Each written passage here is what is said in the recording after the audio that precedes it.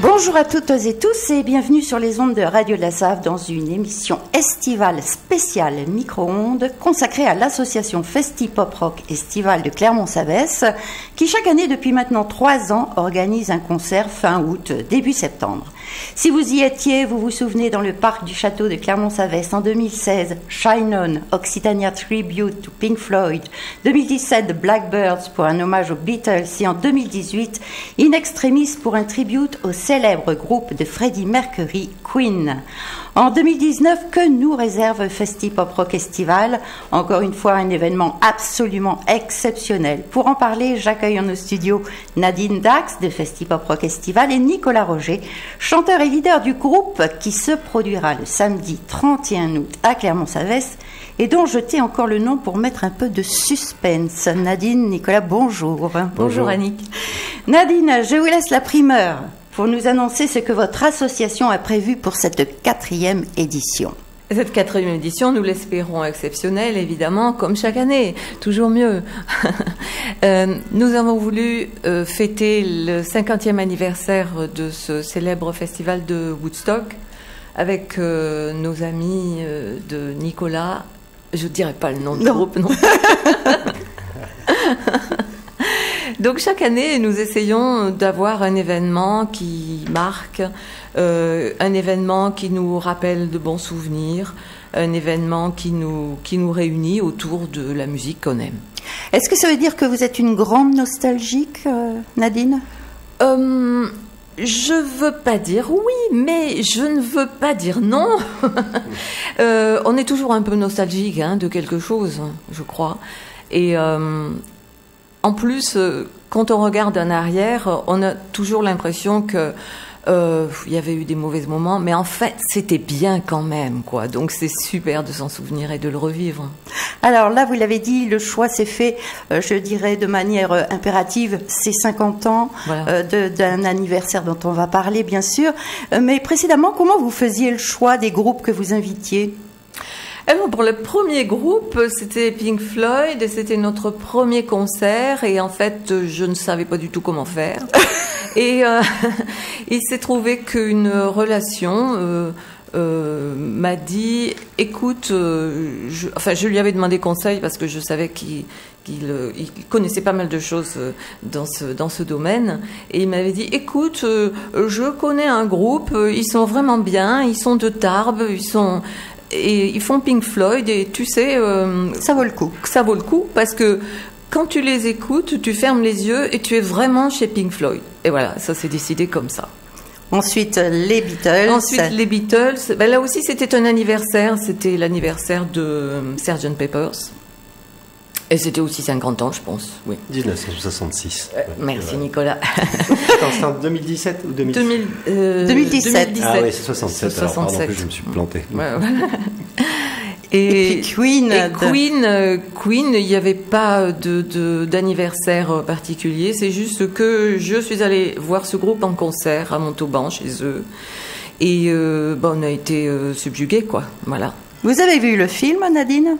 Oui. Et alors, qu'est-ce que vous en avez pensé? C'est magnifique, c'est magique. C'est moi, je sais pas, j'ai envie d'inventer des mots parce que j'en ai pas assez là. C'est, je vais refaire un dictionnaire juste pour ça. C'est un film sublime, quoi. Mais sublime, sublime. Nicolas, vous l'avez vu, vous? Je l'ai vu, oui, j'ai adoré parce que dans, je me souviens très bien d'avoir vu ça en direct, euh, enfin, ce concert du Band Aid euh, euh, proposé par Bob Geldof en, en 1985. Waouh Et c'est, c'est- pour moi, je, je me rappelle en direct euh, avoir vu Queen arriver sur scène, alors que juste avant, il y avait Phil Collins, Sting, il y avait tous les, les groupes des années 80. Alors des- c'était un petit peu inégal, hein, justement, au niveau de la qualité.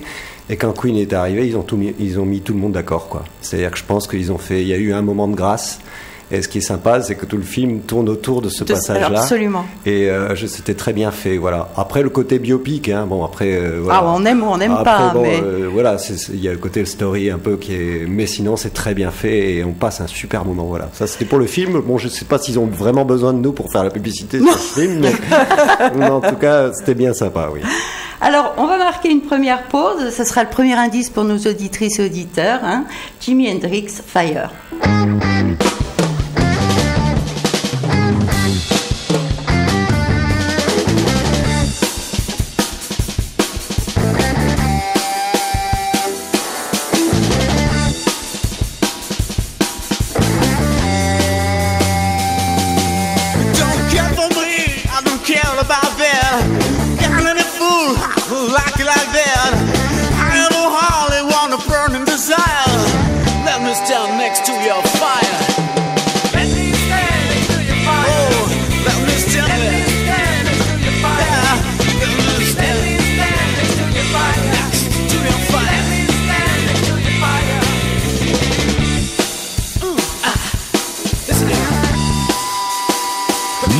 reason to